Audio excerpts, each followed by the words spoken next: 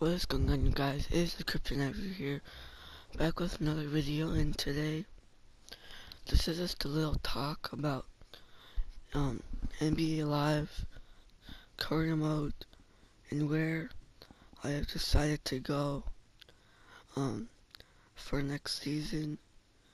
Now it was tough and you guys know we swept the Knicks in the first round. We went to five with the Raptors in the second round. Um, we beat the Cavs in four, but then we lost in the finals three to one to the Minnesota Timberwolves, and so I declined the offer with the Celtics, so I will no longer be a Celtic.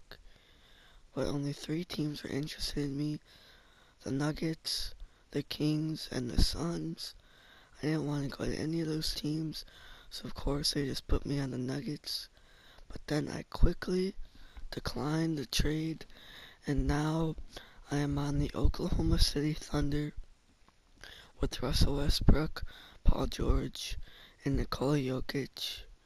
We'll see how we do next season, and I will see you guys all there.